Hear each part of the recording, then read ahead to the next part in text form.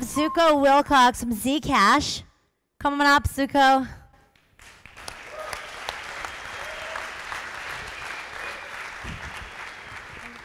Uh-oh, I need the clicker. Is this it?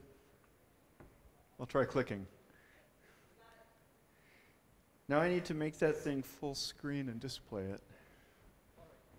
Aha! Thanks. Okay, thank you all for being here. Wow, what a crowd. Um, I'm really happy to be here. I'm a little bit intimidated by all you folks. Uh, my name is Zooko, and I'm the founder of the Zcash project. And the first half of this talk is about what Zcash is, and the second half is about ways to connect Zcash with Ethereum. Zcash, first of all, it's a science discovery that has been made over the past four or so years by a set of uh, cryptographers. And um, I'll tell you what the science discovery is in a few minutes. And the cryptographers who uh, are responsible for that are all part of the Zcash team now. And second of all, it's a technology that the Zcash team has been implementing and making um, efficient and useful and practical. Next, it's a blockchain. And there is currently a testnet blockchain, which you can totally go uh, attack, and please explain how you did so. Thanks. Um, and then on October 28, it'll be a real mainnet, like permanent blockchain with a store of value on it, so it'll be a cryptocurrency. Uh, the Zcash cryptocurrency is uh, intended to be useful for as like a store of value and a medium of exchange starting on October 28. And then um, lastly, it's a community because there's a whole bunch of people um, spread out around the world who, like me, think that privacy is a really critical value in our society and that this is uh, a critical moment and that we have the opportunity to change the course of history for the better. And that's the, that's the, Zcash, the Zcash community. And the main reason I came here to DevCon was to try to establish uh, more contacts between the Zcash community and the Ethereum community. Okay, so what is cool about blockchain technology is uh, the append-only property, which we call immutability, and the single source of truth uh, effect. And you all appreciate this pretty well. Um, but this is really new. This was just recently discovered, and we're only at the very beginnings of figuring out what you can do with those two properties. Um, and this conference is really the cutting edge of experimenting with what you can do given uh, append only and canonicity. And then the encryption, modern day encryption is like 40 or so years old. Uh, and so it's better understood, and pretty much everyone understands the privacy property that encryption gives you, which is that if two people want to communicate and there's some uh, third party who has some position of power with respect to those two people, the two can use encryption in order to prevent the, the other third person in the middle from spying on or changing the contents of what they're saying to each other. That's privacy. And slightly less widely appreciated as the selective disclosure property of encryption. And this is just a property of, this is just an outcome of mathematics, is that if you're using encryption to control read access to your data, then that means there's some secret, some decryption key uh, that is knowledge of that secret is necessary and sufficient to get read access to the data, right? But that implies that if you know that secret, you could choose to share that decryption key with someone else, and if you did so, that would give them the ability to see that data. So uh, Zcash is the first time we've had all four of these properties together, a combination of the blockchain and the encryption. Uh, and that means, so, so that means it's in order to really understand what you might be able to do with Zcash, what kind of like products or programs you could build on top of it, you've got to appreciate the selective disclosure part because people often who are, who are uh, more familiar with the privacy consequence of encryption, they think of Zcash as being like the opposite of Bitcoin and Ethereum, where Bitcoin and Ethereum are all transparent all the time. And so they think of Zcash as being like all opaque all the time. It's all dark all the time. But that's not true at all. uh, with Zcash, you can append data to the blockchain, and that data is encrypted. So that so by appending it to the blockchain, you're not revealing it to everyone in the world. Uh, but if you selectively reveal it to a certain person, that person gets to see that data in the single source of truth in the canonical blockchain. So you can't you get you get the append only and canonicity properties. You can't change your story later, and you can't tell one story to one person and a different story to a different person. But at the same time, you have control over who sees the data. So that's really interesting, and we're even more at the beginnings of experimenting with what you could do by leveraging these properties. I really have no idea. I still haven't figured out what we're going to do with Bitcoin and Ethereum, much less with this. Um, okay, but hold on, back up. Why would I do this? Uh, why, why are we doing this? So I think that privacy is a fundamental human right. And I think that privacy is necessary for people to exercise their unique moral choices. Um, and I also think that privacy is a social value. I think that the kind of privacy that we all were born into and the kind of privacy that all of our societies evolved around is uh, healthy and that it strengthens and protects societies and it makes them more resilient and more humane. Uh, but I also have discovered that privacy is a business requirement. So I started, I decided to devote years of my life to this project because I really cared about the other three uh, bullet points the individual value, social value, and fungibility. Uh, but then when I got started, I was pleasantly surprised to discover that businesses uh, are really strongly demanding this kind of data security for their applications. And this is true both of um, industrial blockchain businesses like banking and trade finance and insurance and healthcare and Internet of Things and so on. There's a whole conference on this topic after this conference, um, at which I'm also speaking. Um, and those kinds of applications where they want to use blockchain technology for uh, one of those applications, every single one of them requires improved privacy before they can use blockchain technology for that, as it turns out. Uh, and in addition, people who want to use um, open cryptocurrencies like Bitcoin and Ethereum uh, just to transact and to find more customers from more countries and stuff like that, they also require privacy so that their uh, contracts and transactions are not exposed to enemies and competitors. And um, one of our supporters, uh, Jeff Garzik, says, if Samsung and Apple can see each other's transactions, then that prevents them from doing business. We need a neutral playing field where people can uh, connect with their partners and customers at the same time as having privacy from competitors or eh, criminals or hackers or whatever. So that turns out to be really important and widely demanded by businesses, which I've learned in the last two years when I started talking to them after I started this, working on this. Uh, and lastly, fungibility. Fungibility is the property that two 101 notes are worth exactly 100. Each one is worth exactly 101. It's not that some notes are worth a little more and some notes are worth a little less. And that's really important because you want commerce to be frictionless and easy. You have enough problems already uh, getting, you know, getting business done. And so you don't want people hesitating and calculating about which particular note they're going to use for which purpose or anything like that. Fungibility is really important. And in the modern blockchain era, we need better uh, privacy in order to keep having fungibility, in my opinion. All right. Uh, the way we do privacy, like I already alluded uh, to encryption. So there's a lot of privacy techniques that have been developed for uh, Bitcoin. Um, I don't know if they've been applied to Ethereum yet. Um, I'd be interested to hear from y'all about that. Uh, and uh, those ones are basically obfuscation in the sense of uh, taking a transaction and hiding it in a bundle of other transactions uh, so that it's, uh, so there's a few different transactions that it could have been a part of or something like that. And what we're doing in Zcash is, is kind of a different approach, which is using encryption, which is a well understood modern technology. And we encrypt all of the parts of the transaction before posting it to the blockchain. So the sender address, the recipient address, the amount, any other metadata that is part of the transaction, that all gets encrypted. Uh, and then only the ciphertext is posted to the blockchain. Okay, that clearly has a very strong privacy consequence, um, but uh, there's also a major problem with it. Like, why didn't Satoshi do that years ago with Bitcoin?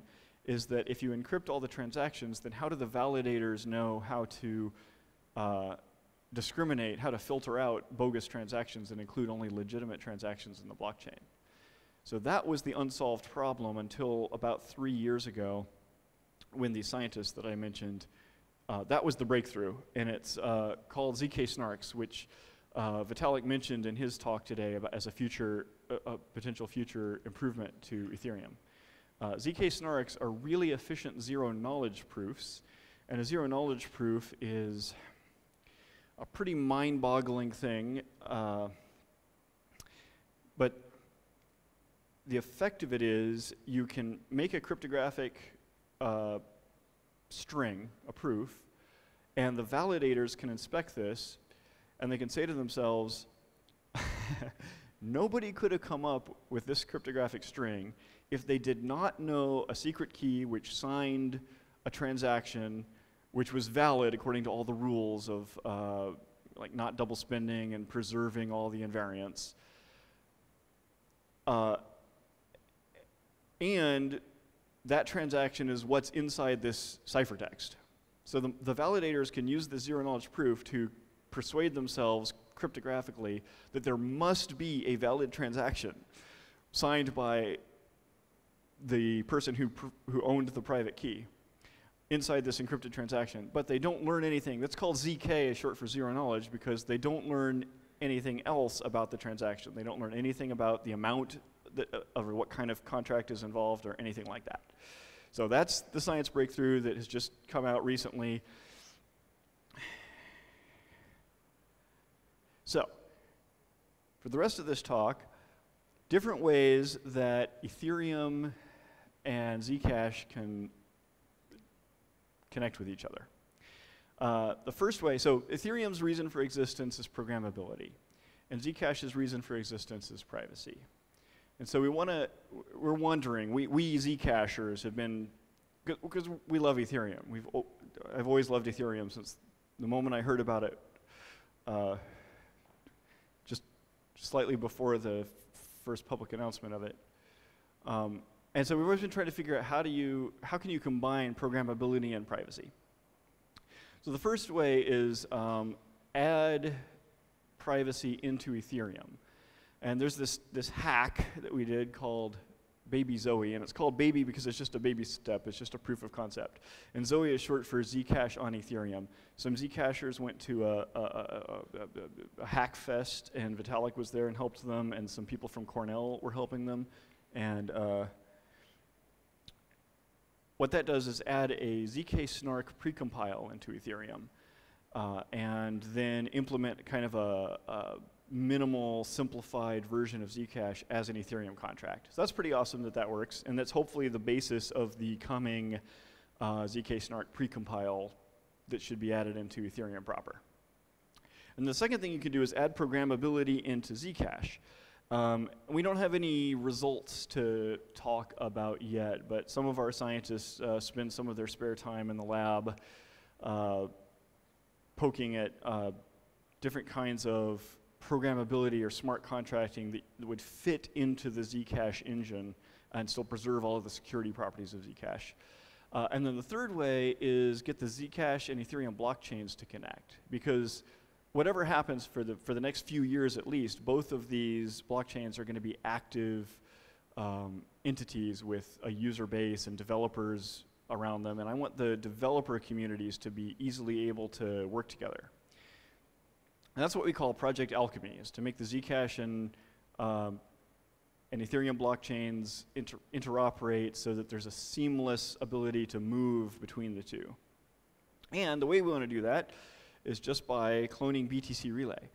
Uh, BTC Relay is an Ethereum script uh, that Joseph Chow and others have written, which makes basically a, uh, a Bitcoin light client inside Ethereum. And so uh, our project is to change that to make a Zcash light client inside of Ethereum. Um, and Jaden Hess from ConsenSys has helped with this already.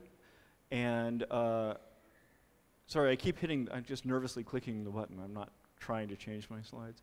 Um, so once you have that, once you have a, an Ethereum script that can, that can see transactions from the other blockchain, then it's possible to write uh, an Ethereum contract that can uh, do a trustless swap of Zcash for Ether, right? Because the, um, the Ethereum contract can say, I will pay out 40 Ether to the first Zcash address, which send, or to the first address of your choice, which sends Z, a certain amount, like 5 Zcash to a certain Zcash address. And then once it's posted that offer, a Zcash programmer user can fulfill that, and then the Ethereum contract will fulfill its side, right? So there was never an opportunity for either side to uh, take off with the other side's tokens. Um, and there's there's a, a bunch of complicated like game theoretic problems that arise from that, uh, which Joseph Chow has thought a lot about. I hope. I mean, he seems to have, uh, and hopefully we can just benefit from all of that research. Um, and also, I think the Raiden uh, design also tries to solve the same problem, so maybe we could use that or its solutions instead. But uh, the end result of that is two things. If you get if you get that if we get that working, we get two things out of it. And and this is the one I'm most excited about out of the three ways. These are all cool and we're contributing to all of them. Uh, but the one that I'm most excited about is number three because that's the one that can be deployed and people can start using it and building on it the soonest, I think. So, uh, if we get this deployed, the, the first thing is, is a decentralized currency exchange right there. So if all the currency exchanges have failed, uh, or if you live in a country where you can't use a currency exchange um, or something like that, but you still have Ethereum and Zcash blockchains, you can use this to swap Ether for Zcash with no third party and no vulner extra vulnerability. So I think that's awesome. That's very highly resilient and um, you know, if that were to get bootstrapped and become widely used, then it's uh, one of those unshutdownable kind of things. It's a, a, general purpose utility for everyone to rely on after that. Maybe. I love the idea. Uh, but the other thing is, if that gets going, if you have those contracts on the Ethereum blockchain, then that means Ethereum contracts gain a new power. This is the awesome thing about Ethereum, which I don't understand very well, but the, the exciting thing about it is that every time someone adds a new contract to the Ethereum blockchain, this gives all the other contracts the possibility to do something new without, without as much coordination and planning between the different coders. So if we succeed at getting this done, then all the other Ethereum contracts gain the ability to um, send and receive Zcash, basically, because you can always you can always post a claim saying, uh, as an Ethereum contract, you can always post a, an offer saying, I will pay you if you send Zcash there, or um, whatever. And if, um, if your Ethereum contract receives Zcash, then if it were sent encrypted on the Zcash blockchain, no one can tell where it came from. But they can always see who has control of it now because Ethereum contracts don't have any secrets, right? So everyone can see what an Ethereum contract knows and what it decides. So if it decides to send Zcash, everyone can see to what address it intended to send it. Um, so it could potentially have privacy on the incoming transaction and not on the outgoing transaction. Uh, but that's okay because privacy is a, a social system-wide network property anyway. It's not an atomic property of individual transactions so much. So basically, it seems like it might make Ethereum contracts able to send and receive more or less privately.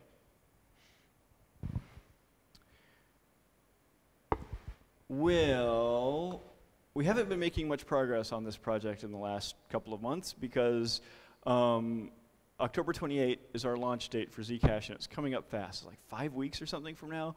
Um, So hopefully, uh, we'll make more progress on the uh, Project Alchemy and the other two um, after that. Uh, and in the meantime, other people have been making some progress uh, contrib- contributing to it. So uh, you should, if you find this interesting at all, you should just reach out. Um, and you, you should definitely find me after this talk, or, because I'm going to be ar- around at the conference the whole time. And um, I think that's all I have to say about that. Thanks.